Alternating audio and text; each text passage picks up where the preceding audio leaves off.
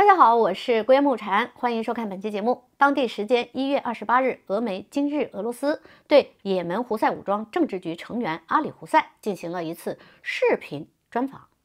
在专访中，阿里胡塞就近期的诸多热点问题，包括巴以局势、红海危机、美军驻约旦基地遇袭以及德州乱局等，均发表了自己的看法。其中啊，不乏令我这个中国人也觉得眼前一亮的地方。我在 RT 的阿语频道上找到了他们对阿里胡塞此次视频专访的文字实录。这里啊，把我认为其中比较重要的部分编译之后贴出来，和大家分享一下。各位同志和朋友，不妨先看看胡塞方面的看法，然后啊，我再结合我的体会，聊聊我的个人观点。在我们深入讨论也门问题之前，我想先请教一下你对不久前美军驻约旦基地遇袭一事的看法。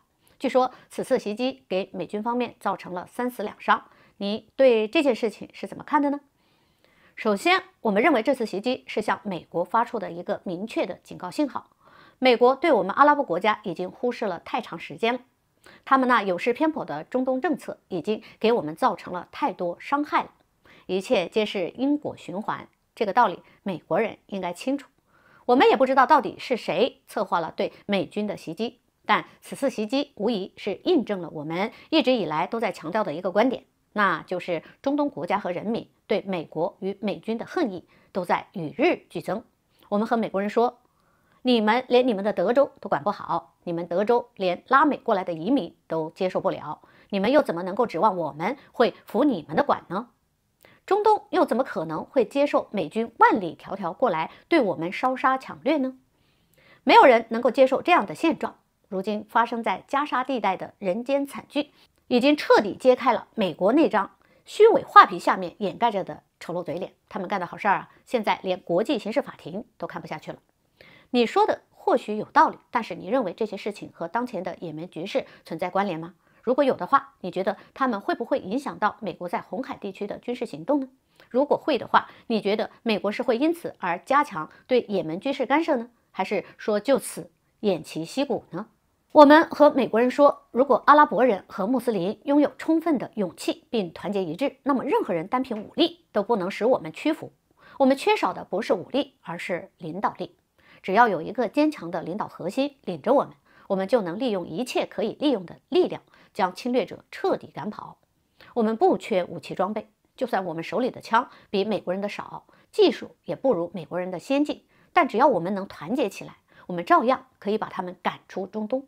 今天的中东已经不是昨天的中东了，这是一个属于反抗者的时代。我们胡塞已经证明了这一点。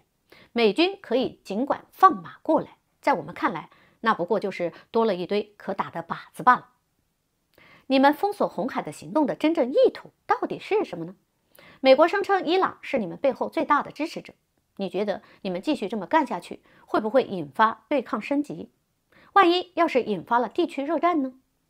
美国人说的很多事情都不过是他们一厢情愿的幻觉罢了。我们要怎么做，我们的心里自有分寸，不会因为美国的说三道四就发生动摇了。至于伊朗，伊朗是一个独立的国家，他们要怎么面对美国的指控，那是他们的事儿。没错，伊朗现在在外交上确实陷入了困境，但是美国的外交形势比伊朗的能好到哪儿去呢？无论是俄乌冲突、巴以局势，还是红海危机，美国在这些问题上交出来的外交答卷，都可以说是一团糟。今天的美国已经不再是过去的那个美国了，他只敢欺凌弱者，比如加沙的巴勒斯坦百姓。但是我们不一样，我们之所以站出来挑战美国，不是因为我们比美国强，而是因为他们欺凌弱者，我们要为弱势者讨还一个公道。我们不能容忍加沙的人间惨剧再这么继续下去。巴勒斯坦人民的基本人权应该得到尊重，哪怕只是为了他们能够吃上面包，我们都有必要和那些傲慢的侵略者抗争到底。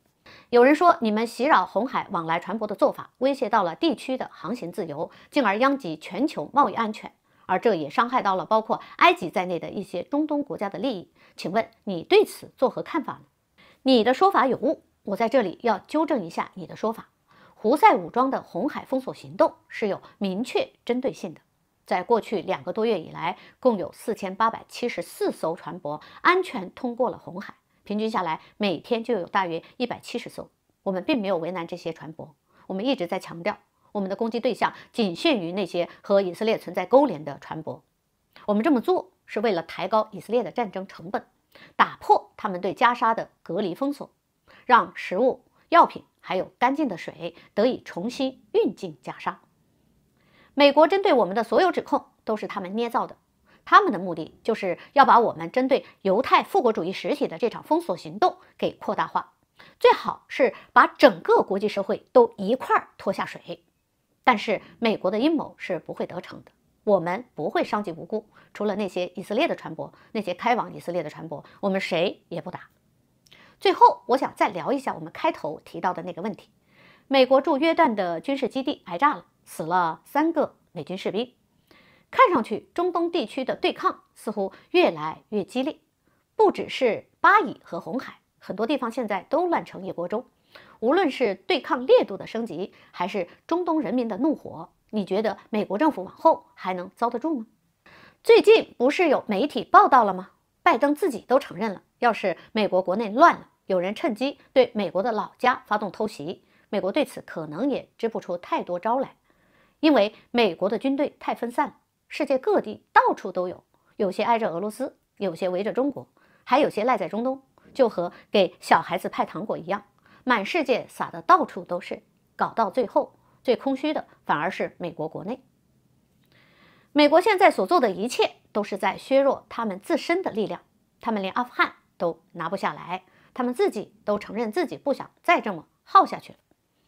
美国国内的民意现在也对战争很反感，而美国政府恰恰是最害怕这一点的，他们不敢顺应自己的民意，只好硬着头皮继续耗下去。但是错的就是错的，你硬着头皮做下去，它也是错的。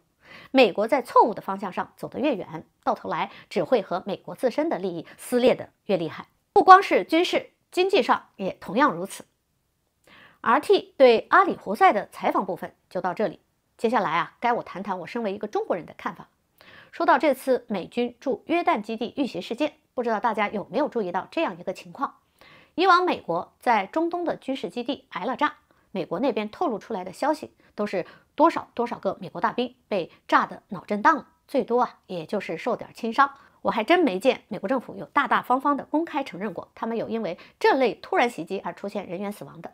自二零二零年初伊朗发动烈士苏莱曼尼行动以来就是如此。在我的印象中，这次的美军驻约旦基地遇袭事件，好像还是过去四年来的头一次。为什么呢？为什么偏偏是在德州乱局愈演愈烈的这个节骨眼上呢？对此啊，坊间有一种偏阴谋论的观点，认为这是美国媒体为了配合拜登当局，转移美国国内舆论对于德州乱局的注意力，而特意抛出来的一颗烟雾弹。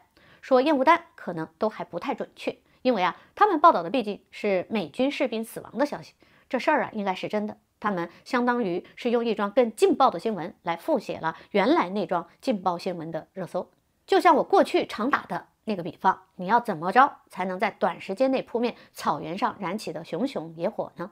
答案是把远方大海上风暴给招过来。美国媒体是懂议程设置，这就是经典的议程设置的玩法。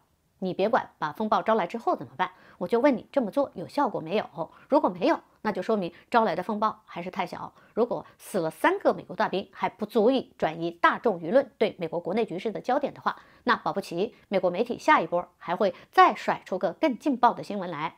虽然说的有鼻子有眼儿，但是啊，这毕竟也只是一种比较夸张的说法。具体内情如何，除了美国政府自己，恐怕谁也不知道。但不管怎么说，现在的美国倒是真给我一种感觉，它就像是一个自顾不暇的救火队员。俄乌的大火还没扑灭呢，巴以呀又窜起来一团；加沙城的硝烟还没平息呢，红海上的西方货轮又挨炸。还没等美国的导弹飞起来，结果啊，国内的德州又闹起来了。你美国就算是千手观音，也架不住有十万只跳蚤要摁呢。摊子铺得太大了。家里遇到事儿的时候，想收你都收不回来。人类历史上多少鼎盛一时的王朝帝国，最后不都死在贪大求全上吗？从罗马到大唐，概莫能外。美国能冲破这个历史周期率吗？且不说我这个中国人信不信，你去问问人家胡塞，你看人家信不信呢？冲锋之衰不能起毛羽，强弩之末不能穿鲁缟。不得不说啊，胡塞这一步棋真是下到美国的痛点上了，把美国政府那点儿啊患得患失、投鼠忌器的小心思全给摸得一清二楚，叫你打也不是，不打也不是，陷你于不仁不义、不尴不尬、不知进退之地。阿里胡塞对眼下美国的那番评价，我觉得不仅适用于中东，同时也适用于全世界。你连德州都管不明白，还怎么管得了中东？你连中东都管不明白，还怎么管得了全世界呢？俄乌冲突、巴以局势、红海危机，我有一种预感，所有这些烂摊子，美国啊，最后恐怕哪个都收拾不了。二零二四年不仅是美国的大选年，同时可能也将成为美国国事的转折之年。美国在那些次要方向上的折戟沉沙，未必就意味着美国霸权的结束，也未必就意味着结束的开始，而有可能是开始的结束。风起于清平之末，山雨欲来，不知美国的帝国大厦此番又要在这满城风雨的反复拍打中折掉几根顶梁柱呢？好了，本期节目就到这里，我们下期再见。